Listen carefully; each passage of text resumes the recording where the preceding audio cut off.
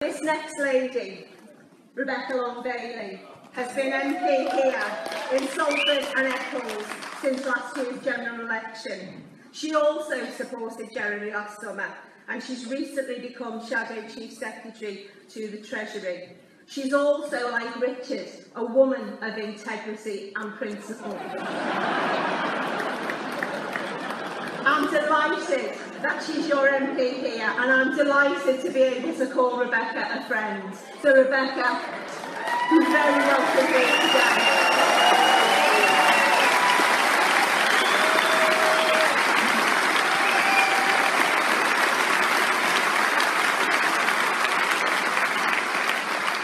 I have to say, I think I'm going to struggle to follow the speeches that we've just heard tonight, but I'll give it a crack and see how we get on.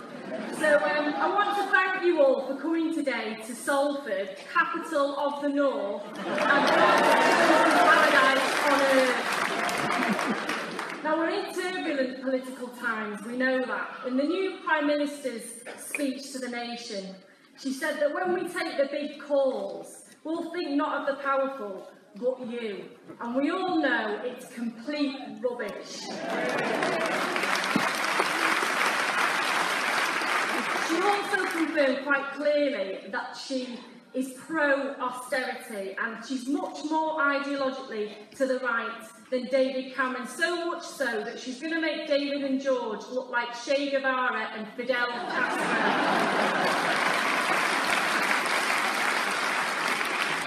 Now, it's frightening for an MP like me because I know that the most vulnerable are going to suffer horrific, imaginable um, suffering, and our local services, who are already on the brink of collapse, are going to be pushed over the edge of a cliff. And if we give her a few years in power, then quite frankly, this government will destroy everything that our Labour movement has fought for. The struggle, the blood, sweat and tears of our ancestors, all for nothing, and our children are going to have to fight those battles all over again.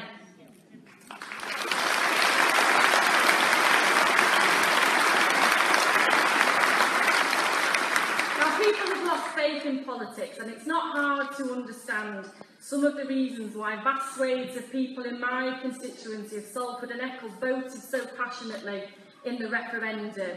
Leavers and Remainers voted in the belief that they were playing some small part in rebuilding Britain because the government wasn't doing it for them. And it's no wonder they were angry with the political establishment when the financial situations of all income groups across the north have suffered horrifically.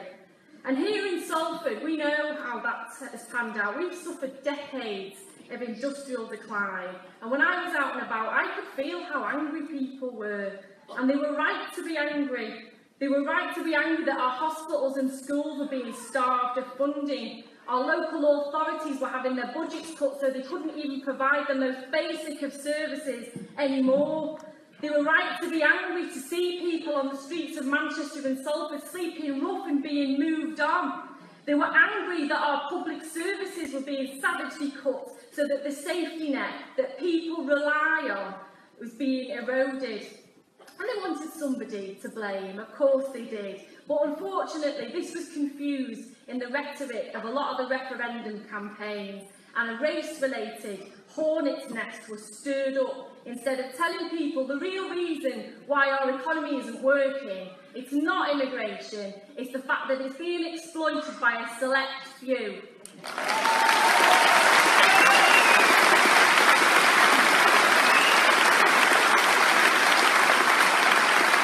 Now, we're in the fabulous Lowry Theatre today, and I thought I'd just tell you a little bit of a story linked to Lowry. Now, only a few weeks ago, I was at the um, Salford Poverty Truth Commission launch.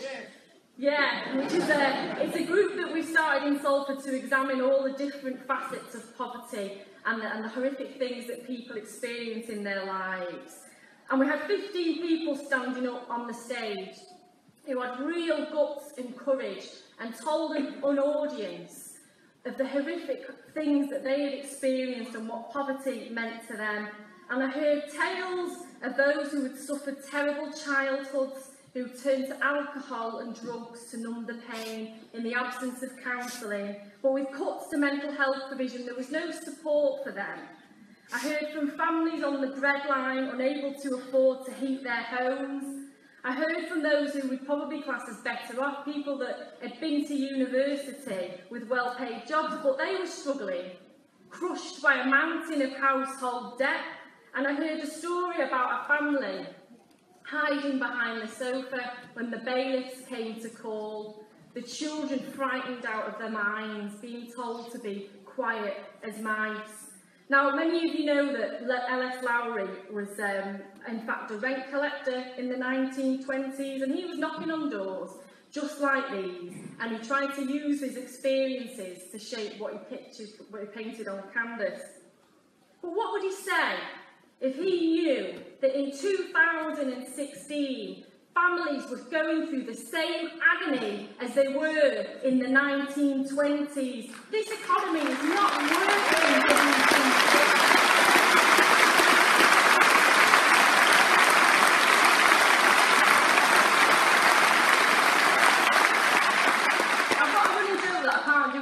without having a rant about Margaret Thatcher, and this speech is different. So we'll start in 1979, which is the year I was born. And as we know, that was when Margaret Thatcher came to power, and it heralded the biggest change in economic thought this country has ever seen, the neoliberalist economic school of thought. And we saw British manufacturing across the northwest and throughout the country, and the well-paid, secure jobs that went with them being sent overseas, outsourced. We had the heart and soul ripped out of British manufacturing before our very eyes. And we were told that it was all going to be all right. All wealth was going to be sucked up to the top and eventually it would trickle back down to us and we'd all have a piece of the pie. Well, it never happened, did it? Communities up and down the country were destroyed, leaving the shattered pieces to be picked up for generations to come. And the children today sometimes don't understand that the financial hardship and the lack of opportunity that they're experiencing today all its origins in 1979.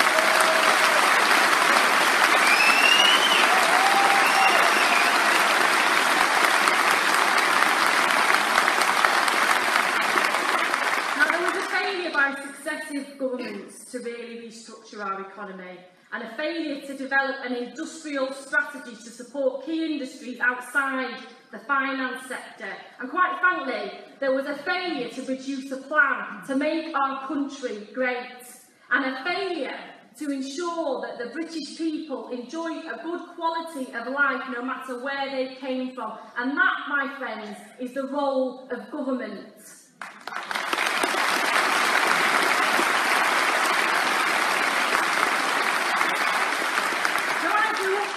Post-industrial world and I saw the poverty and the insecurity all around me and I became disillusioned with politicians and I saw my own Labour Party tinker about with a few things here and there but never make any really bold changes that would really change society.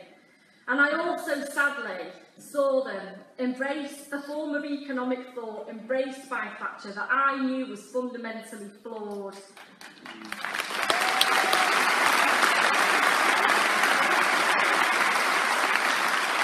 So in 2015, I'd enough and I wanted to become an MP to represent communities that needed help.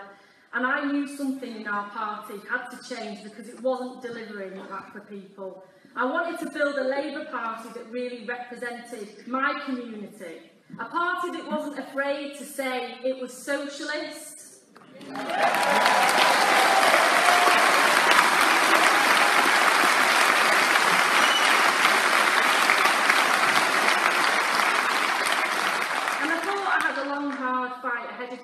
To joke with my husband and my mum and dad were in the audience tonight. I said, give it a few weeks, I'll be kicked out for saying the word socialist too much.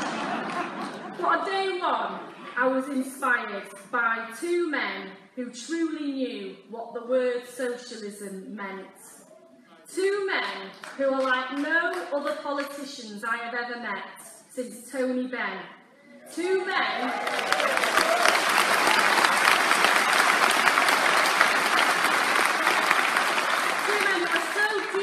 and kind.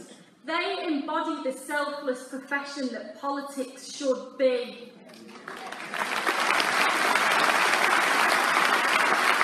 And those two men are Jeremy Corbyn and John McDonnell.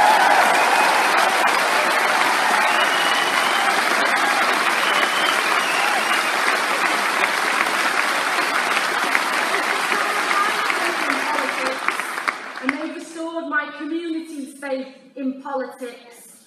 They will be the next Prime Minister and Of the Exchequer of a.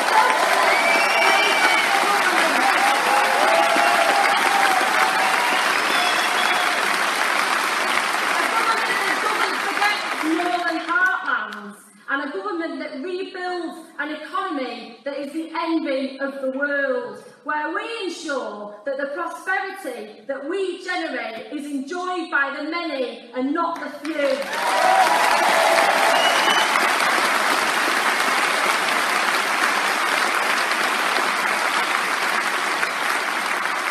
Now, Britain is a great nation and it's always had fairness at its very heart.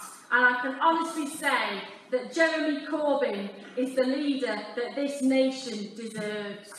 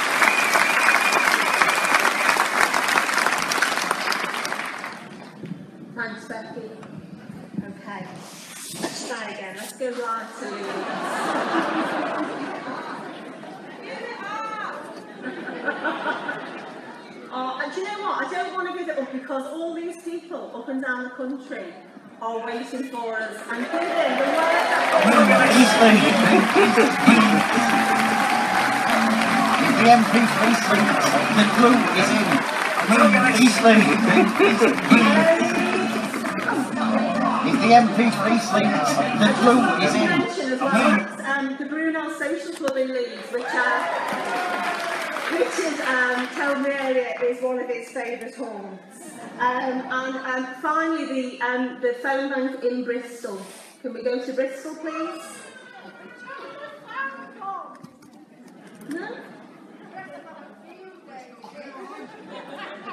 Okay. They say that you can tell a lot about a person by the company they keep. Well, I had the enormous privilege uh, a few weeks ago of being in Durham for the Miners' Gala when Jeremy was addressing the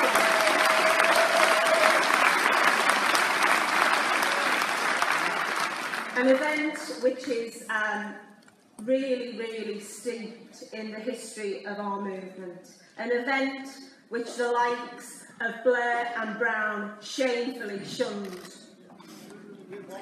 And I'm sure you will all join me in sending our condolences to the family of Davey, Hop- Hopper, um, who was a giant of our movement sadly passed away.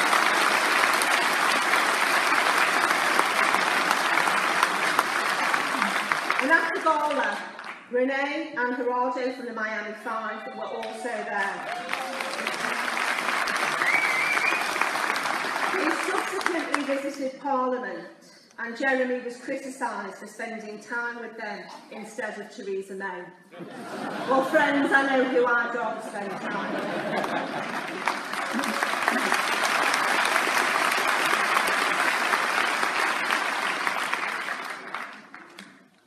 And they say if your actions inspire others to dream more, to learn more, and become more, you are a leader. And with our party membership well over half a million, with more than 183,000 people signing up in a 48-hour period, which, by the way, is more than the whole of the Tory membership.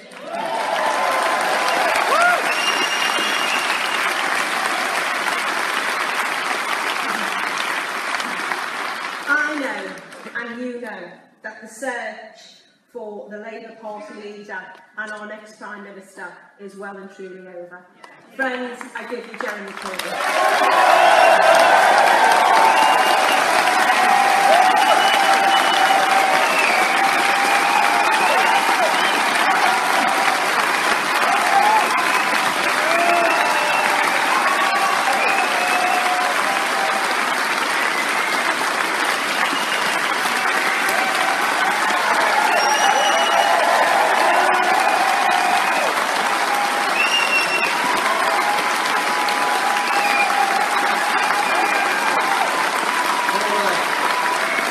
Thank you. Thank you so much. Thank you so much for that introduction. And thank you so much to all of you for being here this afternoon. I want to start with uh, some rather sad words. The terrible events in Munich last night killed a large number of people. I think we should send our sympathy and our thoughts to the families of those that lost loved ones in that deadly attack last night.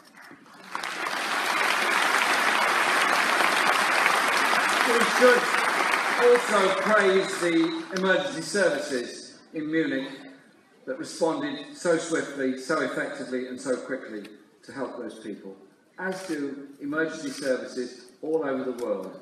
They are the people we need and we rely on at all times. We should also say quite simply that many of these attacks are designed to drive a wedge between communities.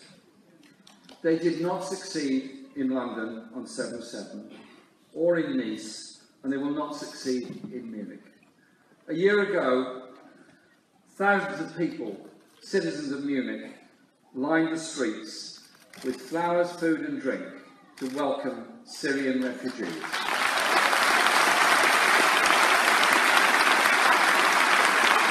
A city that can show such compassion will never allow itself to be torn apart by these kind of acts. It's keeping communities together, which is the most important thing that we can do. Here in Salford, in the northwest, there is an enormous sense of that strength of community. In this theatre here this afternoon, we have 2,000 people. We have people following us uh, around the country as our um, developing technology will explain to you. Um, and we also have many, many thousands following us on Facebook and online. It's the form of communication that is so important that is available to us. But it's also important to understand how our culture and our values came about. I'm very proud to be here in the Lowry Theatre.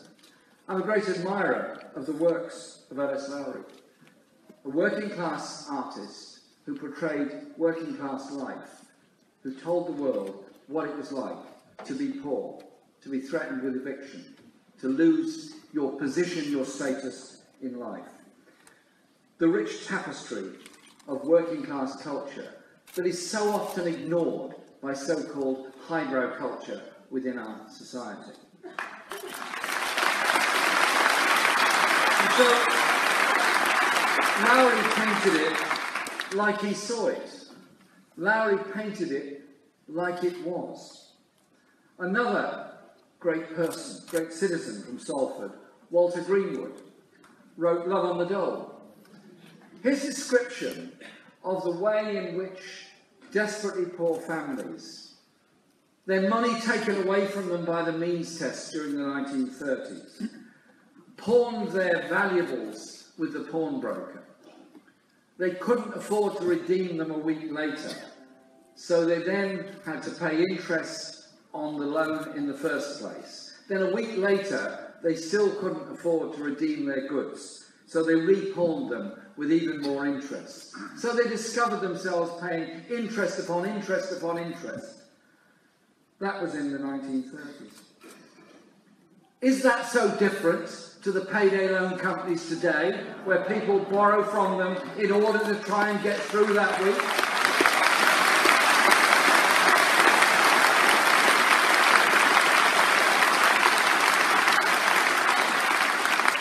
Lowry, Walter Greenwood, many, many others have shown us the importance of understanding the function and the connection between literature, between art and culture. One of the former MPs for Salford, a great friend of mine, Frank Allaun, often talked to me about this and how you bring those things together. And I learnt a great deal from Frank Allaun. And the issue surely is what we're here for as a movement. We're not here to offer a contract with anybody. We're here, surely, because Labour believes in the empowerment of people and drawing on all that imagination, all those ideas that come from such a rich tapestry of our own history and of our own current. The art might be different now, but the principle is the same of artists seeing it like it is, telling it the way they see it, and the rest of us understanding something from that. Be it poetry, be it painting, be it rap, be it dance, or anything else. Never be afraid of embracing culture with politics and politics with culture. The two things go together.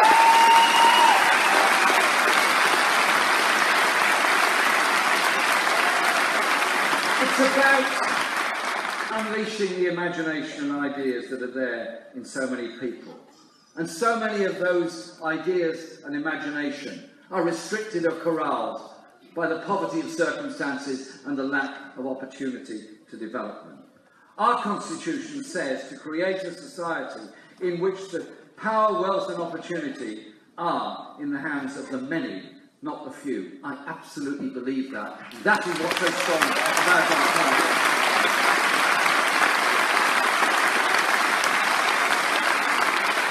And our membership has surged, as others have explained, as Richard and Becky have explained to, with a membership now over half a million. 540,000 was reported to the National Executive last week. More than the combined membership of every other political party in Britain.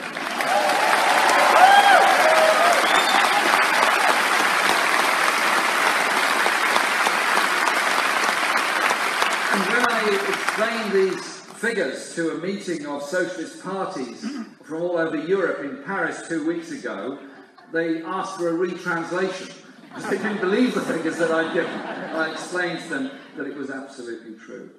We also have 3 million affiliated trade unionists, as well as the 180,000 registered supporters in just 48 hours last week. We are, we are a social movement, and we will only win the next general election because we are that movement of people all around the country who want to see a different world and do things very differently. Some people, some people who um, are very respected commentators, and I'm sure they understand these things extremely well, I'm sure far better than any of us do, say that that isn't how politics is done, and that it is solely what happens in Parliament that's important. Now, don't misunderstand me. What happens in Parliament is very, very important. That is why many of us have sought office in Parliament in order to effect those changes. But changes come because people want those changes to come, and Parliament has to influence in the way that those changes come about.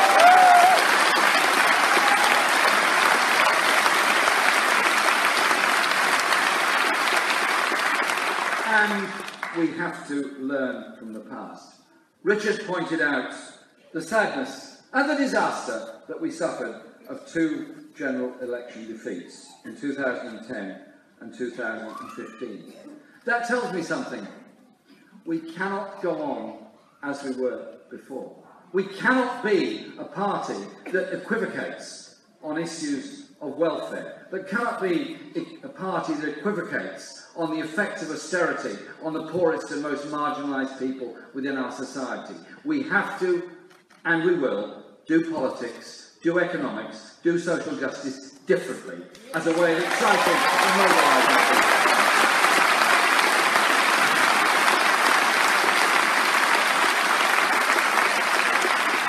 I was very proud to be elected to this position a year ago.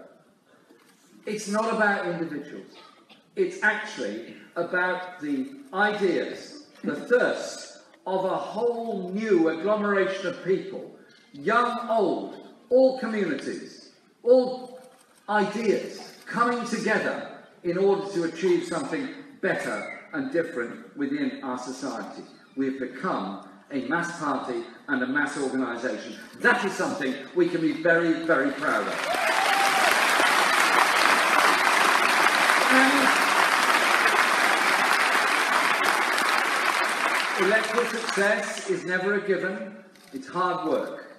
It's an expression of people's views and wishes, but it's also an expression of their determination to see something different. I was very proud when we won the mayoral elections in Liverpool, when we won the mayoral election in London, despite the most disgusting, scurrilous campaign I've ever seen run by the Tory party against Sadiq Khan. And I was very proud to go many times to Bristol to support and campaign alongside Marvin Rees and the incredible victory that he achieved as Mayor of Bristol. And I'm absolutely delighted to welcome Paul Dennett here today, the elected Mayor of Salford. Paul, thank you for coming and congratulations on your great victory. Now, I'm going to tell you something now you won't have read in any of the papers because they, none of them had any space to carry it whatsoever because they're very, very busy with all the important news of the day. But I'll let you know on Thursday night, which is only 36 hours ago, so the news should have got through by now, there was a by-election in the district of Thanet in North Kent, in Ramsgate. A by-election in which the Labour candidate, Penny Newman, took the seat from UKIP and won it for Labour.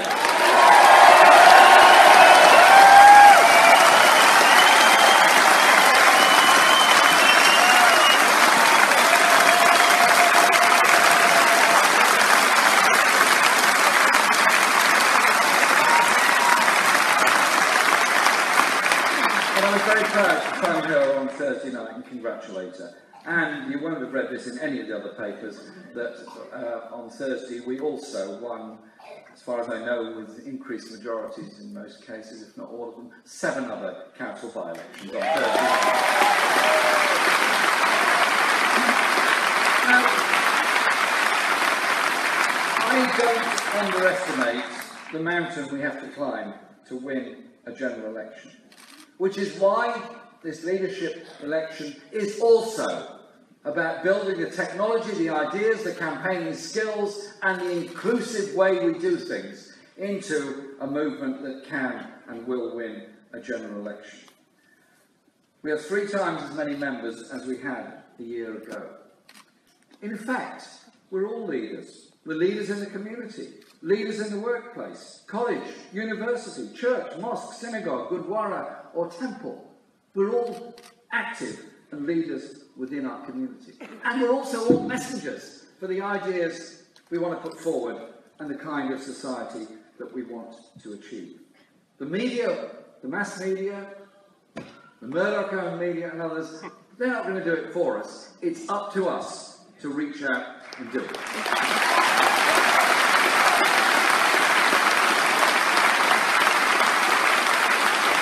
Because I'm convinced that the owners of some of our media who um, are forced to live in tax havens elsewhere because of the onerous nature of the taxation system in this country, and their companies are forced to be registered in tax havens elsewhere because they're not particularly willing to pay taxes in this country, yet quite prepared to criticise us for not having the resources available because they don't pay their taxes in the first place. So we have to do because unity is what will achieve it. It's bringing together the members of our party, the members of our unions, and all the affiliates, councillors, MPs, MEPs, mayors, and others. It's bringing people together that will get this very strong message about the social justice that we're determined to achieve in this society. I want to say this. We have to be very disciplined about what we do. I make it clear today, as I've made it clear many, many times before. I don't do any personal abuse of anybody at any time ever.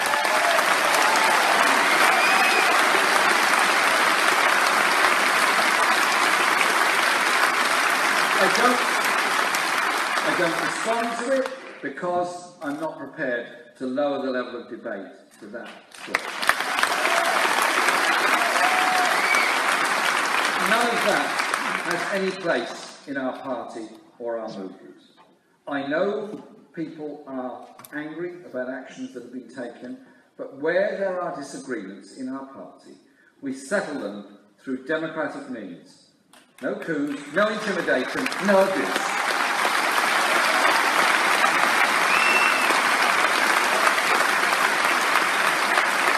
And whatever the result on the 24th of September, we're going to be a united movement to take on the Tories and take on the ideology that they're forcing on people of this country. And people who say that somehow or other the last 10 months has not been particularly successful, I just remind them it was the Labour movement coming together that forced them back on cutting working families' tax credits. Three million families have not had a thousand pounds taken from them. When George Osborne, in the middle of his budget, apropos not very much, suddenly said PIPs are going to go, personal independence payments to give those with disabilities some dignity and independence in life. The anger was so palpable. The opposition was so strong. They were forced to retreat in less than three days on that.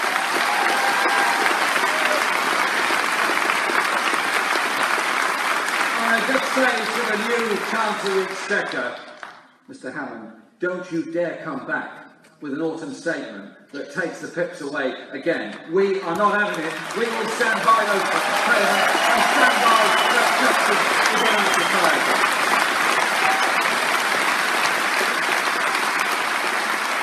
And then again, almost apropos nothing, like it was a sort of add-on to the budget, George Osborne suddenly headed off in a rather odd direction of discussing education policy. I thought he was the Chancellor of the Exchequer, but obviously he had uh, ideas slightly above his station, and um, decided that every school should become an academy. Forced academisation, breaking up uh, collective bargaining arrangements, setting schools in competition with each other rather than the family of schools at a local level cooperating with each other to improve the lives and opportunities of children.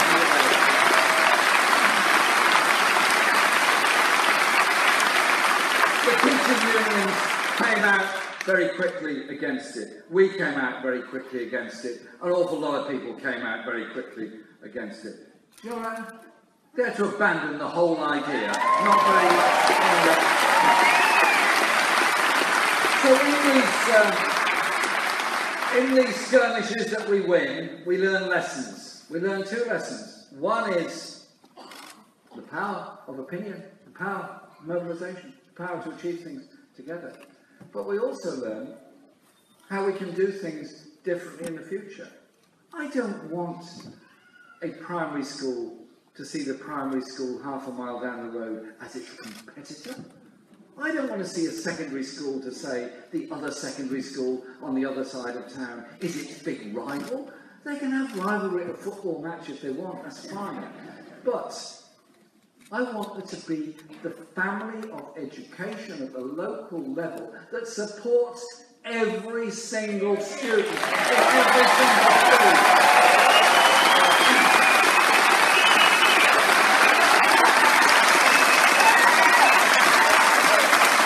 because that it helps our young people to grow up understanding the values of cooperation. It also means you can provide collectively better sports facilities, music, art, culture, theatre, dance, drama, science, engineering, all those things you can do together. That's what's a strong message. we've waged campaigns against student debt, I'll come back to that in a moment, and against the rising tide of homelessness and destitution in this country. There is something deeply appalling and wrong that in one of the top four or five richest countries in the world, somehow or other, we tolerate the idea there are homeless people. I travel around the country a lot and I talk to many people in lots of circumstances.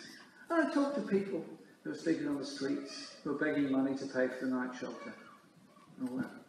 You talk to them about their lives. There's been disasters, there's been tragedies, there's been mistakes, there's been bad things happen to them. All kinds of problems have come about. And they face life on the streets. And sadly, some of them die on the streets. And people say to me, well, Jeremy, you know, you're too involved in all that kind of stuff. You know, you should recognise that it's only the middle ground that matters in politics. I just say this, surely in politics and in life, there is a moral imperative of what you do. If you're reasonably well paid,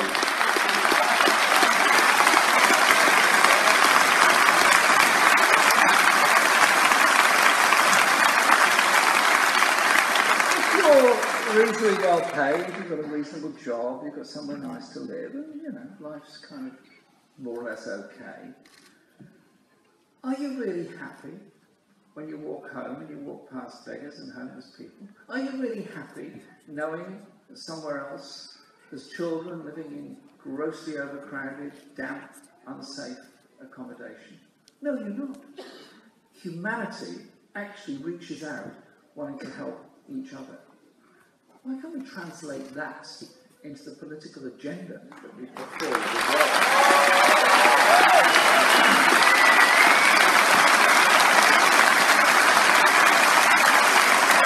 So we don't allow homelessness to rise or those with disabilities facing the work capability assessment tests to be so demonised because they do it. Surely we can do things better and differently within our society. We launched our campaign on Thursday and I set out then the scandal of um, unequal pay within our society. The Equal Pay Act was first passed in 1970 and there is still a 20% gender pay gap in our society. It's got to be closed.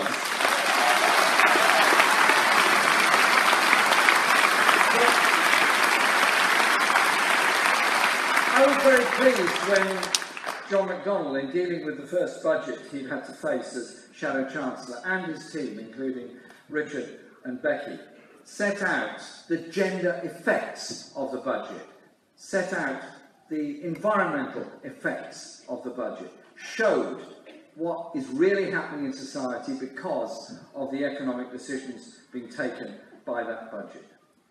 So I want to say a big thank you to John McDonnell for changing the whole economic debate within our society.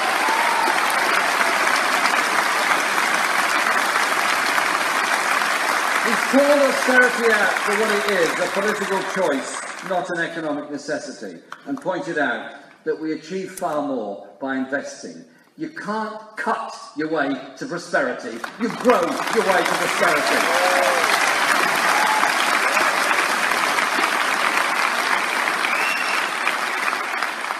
Now, two weeks ago on the um, steps of Downing Street, Theresa May stood there and um, expressed deep concern about the state of society. And I'm very grateful to her for doing that. It was very kind of her to do it.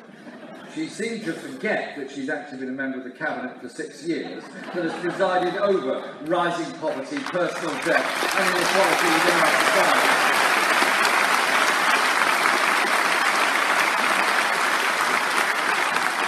And then, as if to uh, ensure that that um, interesting moment outside Downing Street would swiftly be consigned to the dustbin of history, she then introduced a higher education bill which will encourage yet more privatisation in education, saddle our students with deeper and deeper debt, higher and higher fees, and drive many from poor and working class communities away from the opportunities of university education.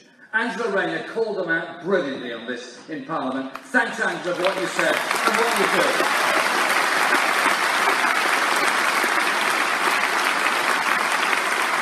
Surely the point to understand is that young people who do training, do good apprenticeships, get good qualifications, go to college, go to university, get a degree, become engineers, become doctors, become nurses, become transport experts, all the other things they can become.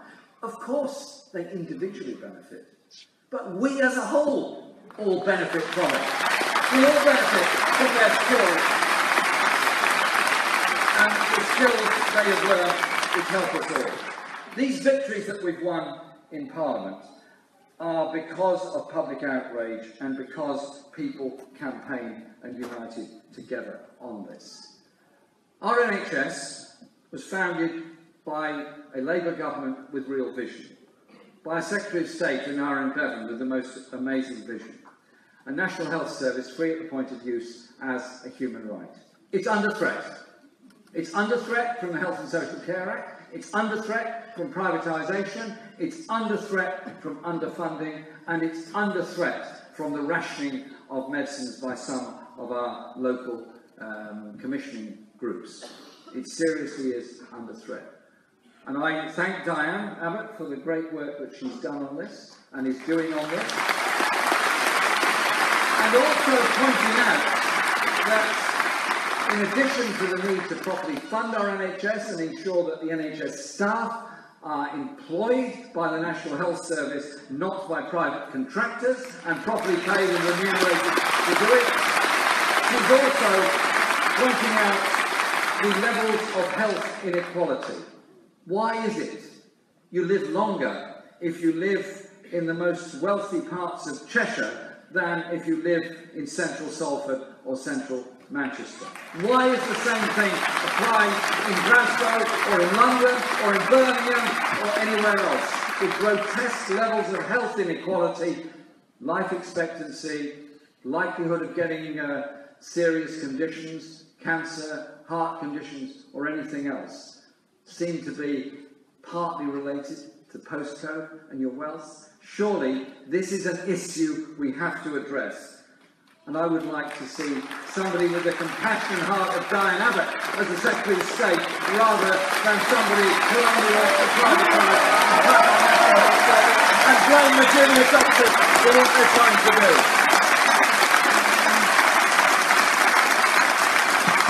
I want to thank all of you for all that you do campaigning, all of your campaigning for social justice and environmental justice. Because, as I've tried to set out in the few remarks I'm making today.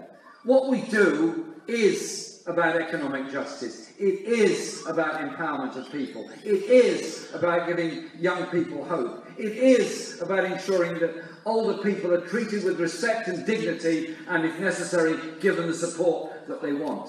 But it's also about our attitude to the rest of the world. Our human rights issues, internationally as well as nationally our attitude towards the natural world and the environment, so that we recognise the sustainability arguments ought to be central to politics, not just an add-on to our politics.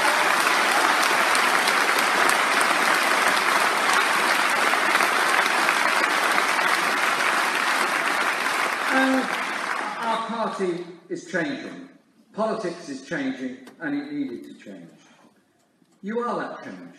You are the ones that will change politics. And I want to make sure that people are empowered to do it. Because politics isn't about sending great individuals somewhere else to do great things and then come back and tell you how difficult it was not to do them. Surely it's better if we empower people together to ensure that, uh, that inexorable pressure to give us the health service we need, to give us the housing strategy that doesn't consign people to overcrowding and homelessness, that is an industrial policy that pays people properly, invests properly, and ensures there is real job security, not the horrors that we've seen of Mike Ashley and Sport Direct as an example of practices. And so, our campaign is about tackling the five great ills in our society. The five great ills that we face in our society. Inequality, insecurity, prejudice, discrimination, and neglect. Surely our purpose, the whole reason we're here today, we come into politics, we activate ourselves in our communities, is because we want to build a society in which no one, but no one, is left behind. And no community is left behind. We want an investment, we want some housing, we want some work. And it's a vision of how we do things. We can only do things and only achieve things when we do it together. That is our message. That is our strength. That is our strength. Thank you so much for inviting me here tonight.